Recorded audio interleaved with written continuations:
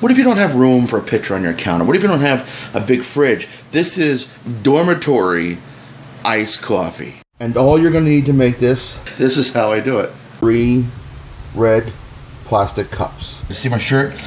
I am Farticus. No, I'm Farticus. No, I'm Farticus.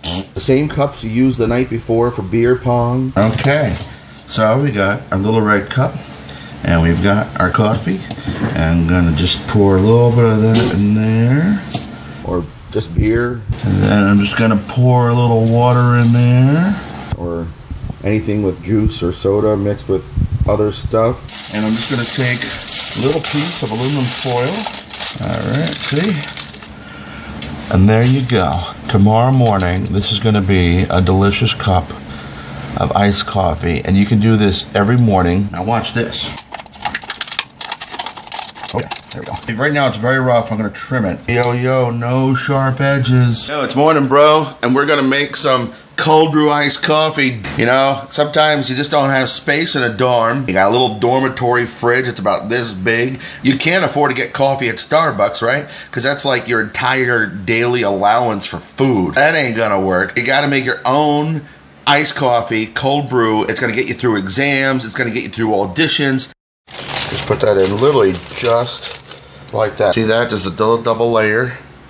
And right in there is gonna go your iced coffee. Oh yeah, look at that, look at that. Go down, go down. We're gonna get about almost two thirds of a cup of coffee out of this. Right now we're filtering the grounds out of the coffee because you don't want crunchy iced coffee.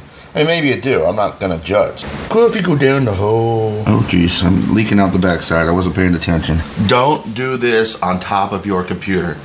Whatever you do, I don't want your moms and dads calling me and said that fool on YouTube told him to make cold brew iced coffee. He did it on top of his laptop, and now I got to buy him another computer, or he's gonna flunk out a psych. Right?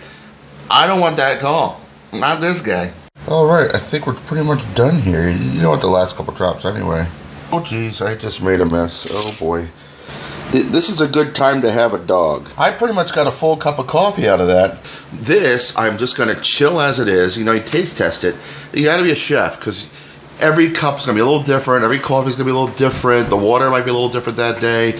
You know, you got to go by taste. And here we go. Five minutes later, it's really cold because it's been in the freezer. It wasn't warm to begin with because it was brewed at room temperature for 24 hours. So